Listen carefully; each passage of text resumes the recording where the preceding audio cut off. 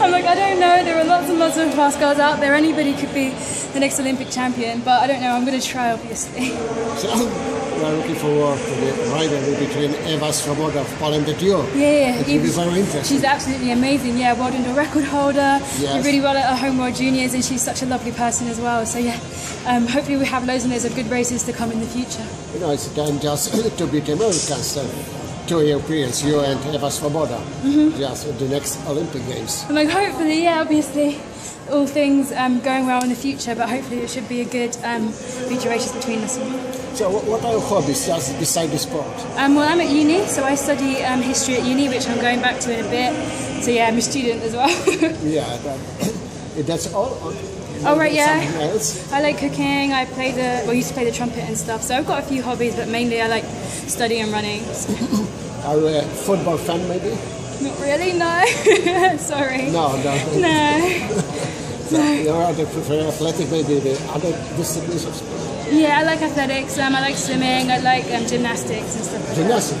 Mm, I can't do it though. yeah, I'm not very good at it, but I like to watch it. Maybe it was the, your first sport discipline, gymnastics. Oh no, no, no, no, no! I No, used to play um, hockey. So, So sprinting from the very beginning. Okay. yeah, sprinting and jumping from the beginning. Yeah. Yeah. So we'll be watching you at the next games, maybe the Yeah. Diamond League. Yeah, yeah, yeah. I've got Zurich on Thursday.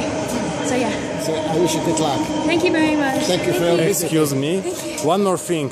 Um, what do you tell about the big popularity of uh, athletics, track and field in the United Kingdom? Because it's rather unusual that we see uh, 60,000 people on the stadium. Normally it's... Um, Far. Yes, yes. Yeah, we love track and field in the UK, which is great. That's why those people like coming to diamond leagues there, and all the diamond leagues are always really busy because we love track and field. We like, yeah, we just always loved it, I guess. Uh, your country was uh, second during the Olympics in the medal classification.